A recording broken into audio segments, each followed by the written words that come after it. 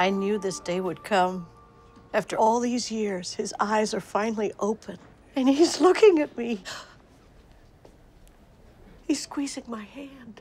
I can feel him. Those are reflexive actions of his brainstem. I have been coming here for 14 years, sitting by his side, waiting for him to look at me. And he is.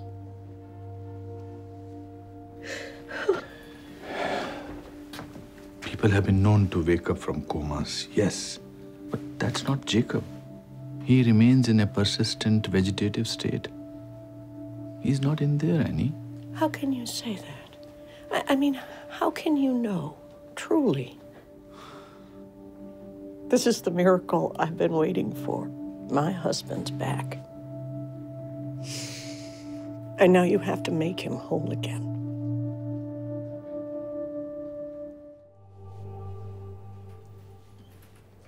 I flew all the way from Chicago for this. Sam, come on. I'm sorry, it's just. Your father's still in there, trying to talk to us, trying to communicate with us. But he's not. I mean, why can't you see that? He, he's gone. Mom, we know how badly you want Dad to still be here.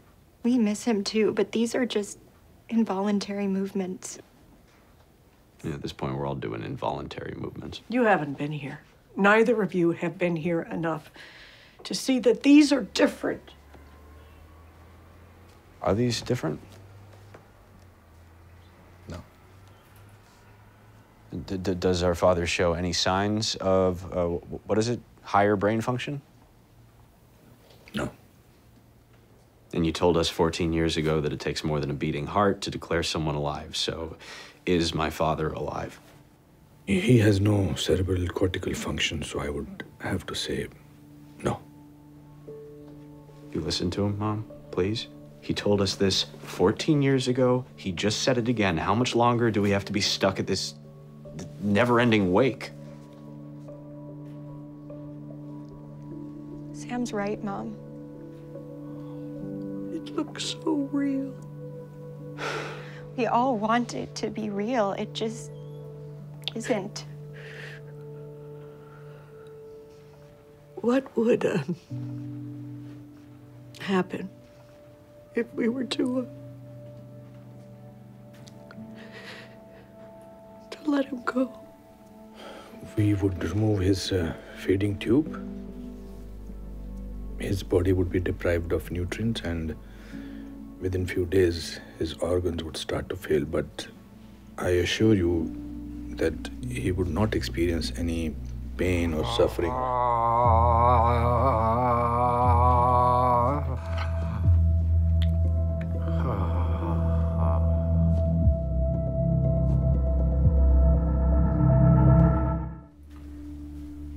He could hear us. He knew what we were talking about. He was begging for us to stop. Mom, please. Annie, that was an expulsion of air over his vocal cords. Just a reflex, like his eye movements. I can't believe I almost made the biggest mistake of my life. Dr. Kapoor, how long could he live if she kept the feeding tube in? Conservative guess? Another 20 years.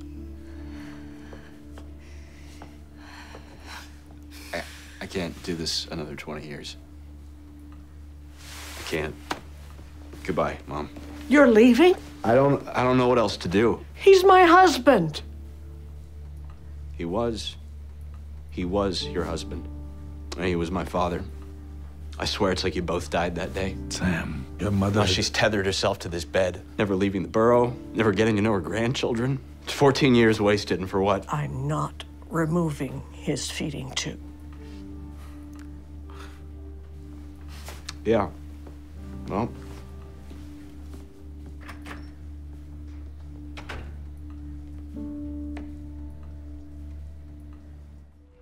Dr. Kapoor, something's wrong with Jacob.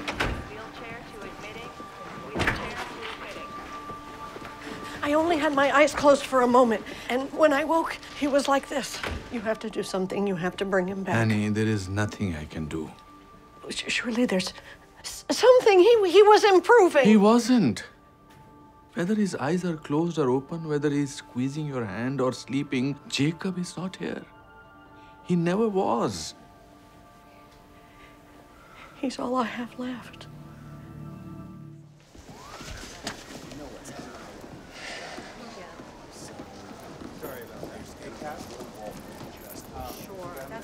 May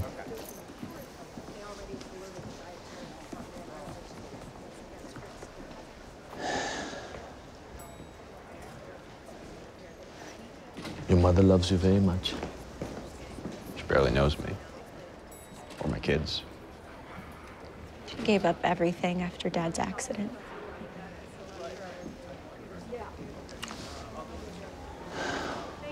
My wife died several years ago.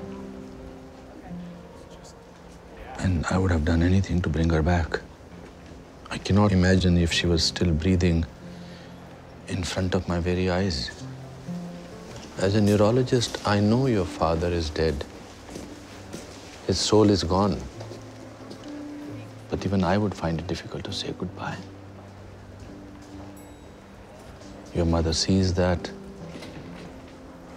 She's trapped between life and death. She wants to move on. She wants to let go. So why can't she?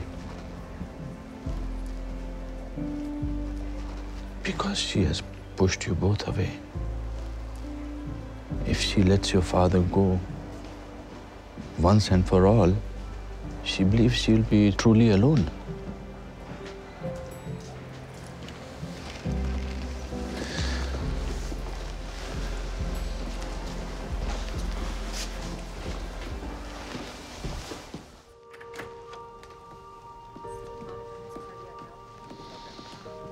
Annie?